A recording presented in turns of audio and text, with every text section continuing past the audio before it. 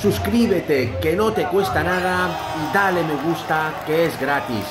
Antes de empezar, no te olvides de darle me gusta, pulsar el dedito de arriba, que no te va a costar nada, es totalmente gratis para que este vídeo llegue a más culés como tú.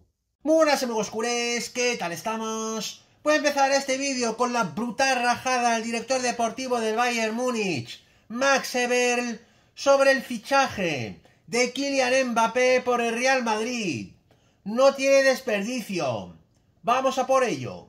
Pues bien, el Bayern Múnich contra la burbuja del fútbol. Va a explotar. Max Ebrel, director deportivo del club muniqués, cargó contra las actitudes avariciosas en el mundo del fútbol. Pues bien, la llegada de Kylian Mbappé a Real Madrid, anunciada a bombo y platillo, el pasado lunes sigue marcando la actualidad deportiva y el debate futbolístico. La operación valorada en unos 300 millones de euros netos, contando la prima de fichaje y el salario que percibirá el delantero de Bondi en los cinco años que ha firmado, ha despertado también ciertas críticas. El Real Madrid, eso sí, no ha tenido que pagar el fichaje al Paris Saint-Germain. Faltaría más. Uno de los más beligerantes ha sido Max Ebrel, director deportivo del Bayern Múnich. El dirigente ha participado en una charla organizada por un famoso diario alemán en la que se ha quedado a gusto y en la que ha advertido de los peligros de las personas avariciosas que hay en el mundo del fútbol. Si se gasta todo el dinero en algún momento, entonces no nos quedará nada con lo que poder sobrevivir, ha advertido Ebrel. Puede ser cada vez más avaricioso, pero todo aquel que es avaricioso poco a poco se convertirá en un clavo en el ataúd del fútbol, apuntó en un evento llamado El futuro del fútbol, sin hacer referencia directamente a Real Madrid ni a Kylian Mbappé. Ebrel habló de decenas de cientos de millones y se refirió a la burbuja del mundo del fútbol.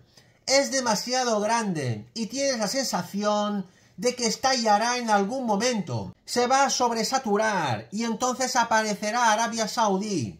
Tengo la sensación de que no es lo correcto, pero es así el mercado ahora abundó el director deportivo del Bayern Múnich. El dinero está saliendo del mercado. Ningún club se beneficia de ello. Los jugadores, las familias, los asesores y los representantes, todos se benefician, pero no los clubs, avisó.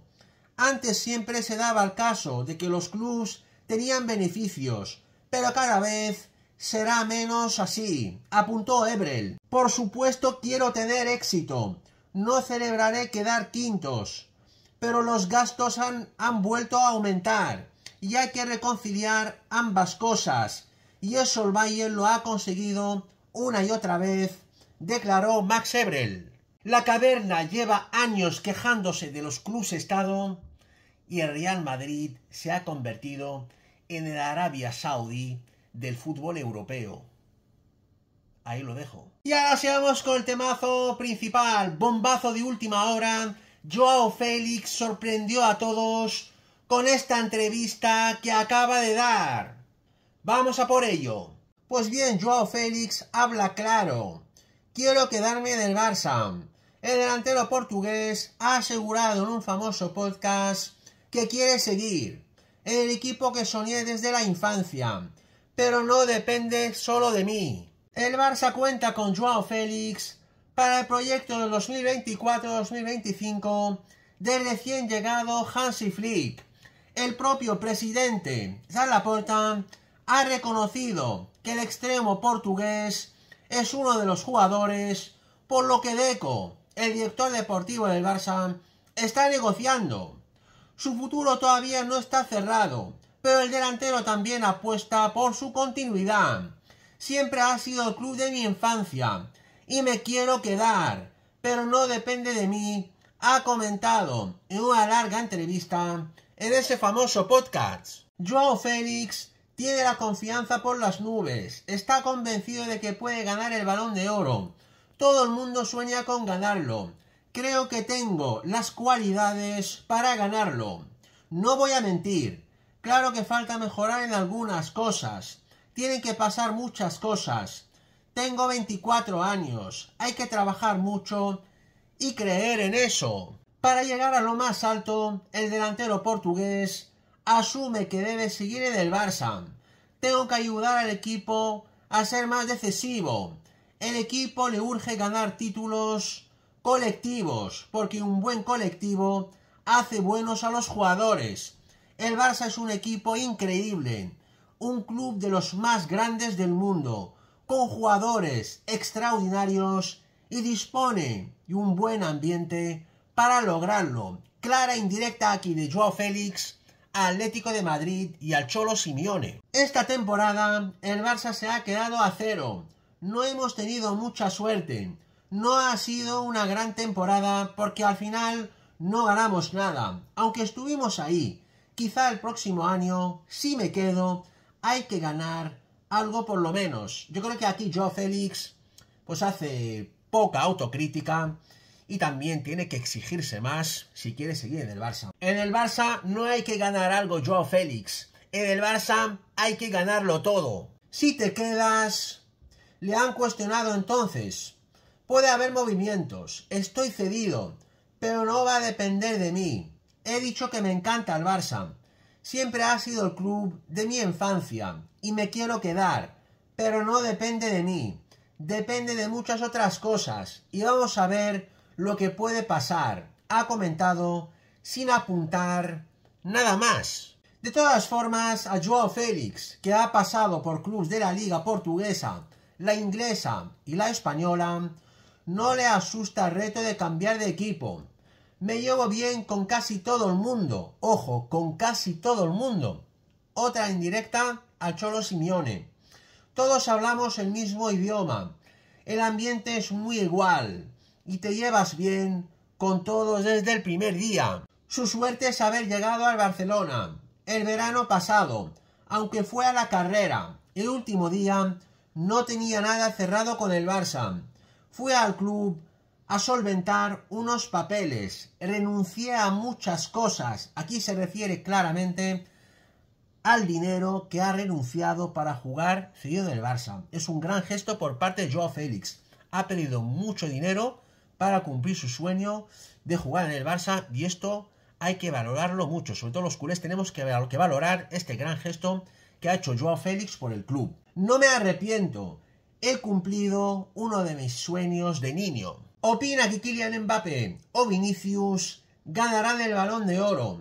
Que el Cholo Simeone es un entrenador que ha cambiado el Atlético de Madrid de una manera increíble. Las ganas que pone en su trabajo en los partidos. Aunque Xavi, ojo a esto, aunque Xavi le ha ganado en algún aspecto, en esa condición humana de acercarse más a las personas, Xavi lo lleva mejor. ¡Hostia! ¡Qué palo!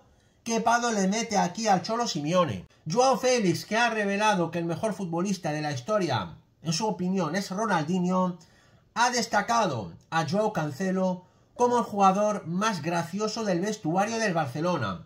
Ha admitido también que se arrepiente de su carrera de algunos gestos que ha hecho especialmente durante su etapa en el club colchonero. Yo creo que aquí Joao Félix pues se, protege un poco por si, por si, por si tiene que volver eh, la próxima temporada a su todavía club, el, Atlético de Madrid. Bueno, como hemos escuchado, Joao Félix ha asegurado que quiere seguir en el Barça, que es el club de sus sueños, que está dispuesto a hacer otro sacrificio económico.